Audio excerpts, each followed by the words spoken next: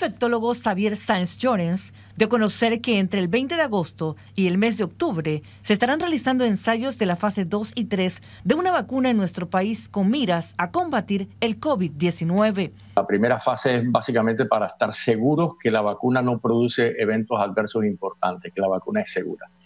En la segunda fase, entonces ya se amplía nuevamente la evaluación de la seguridad y se determina que la vacuna produce inmunidad, produce inmunidad no solamente de anticuerpos, sino también produce inmunidad mediada por células. Fase 3 es básicamente para medir la, eficacia de la vacuna. Eh, y ahí también se sigue estudiando seguridad, ¿no? El doctor Science Jorens adelantó que hay tres posibilidades que está ejecutando el gobierno para la adquisición de la vacuna contra el COVID-19. Todas las vacunas del país ahora mismo, todas las que se han usado desde hace mucho tiempo, se compran a, la OPS, a un fondo rotatorio que le llaman. ¿no?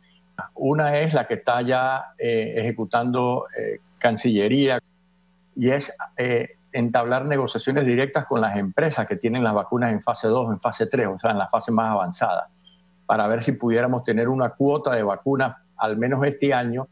Y la tercera avenida es hacer investigación en Panamá pero son para hacer estudios de fase 2 y fase 3 y, probar que la vacuna no solamente es efectiva en Rusia, en Estados Unidos, en, Inglaterra, en Australia, sino también en Panamá. Recomiendo a la población navegar en sitios fiables de información y allí los medios juegan un papel fundamental para tranquilizar a la gente sobre que no hay nada maquiavélico en ninguna iniciativa de vacuna. Antes se vivía 50 años, ahora se vive más de 80 precisamente gracias al agua potable y, al advenimiento de vacunas. Finalmente, el infectólogo lamentó que la búsqueda y anuncio de la fabricación de la vacuna se ha convertido en una guerra política, económica, hegemónica e ideológica, cuando se esperaba que las discusiones fueran de carácter científico.